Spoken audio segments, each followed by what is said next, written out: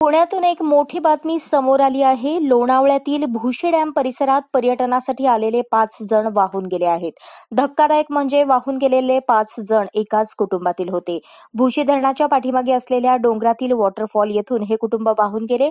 भुशी धरणाच्या पाठीमागे असलेल्या डोंगरातील धबधब्याला रेल्वेचा वॉटरफॉल म्हणून ओळखलं जातं. अन्सारी कुटुंब रविवारी परिवारासोबत वर्षा विहारासाठी या परिसरात आले होते.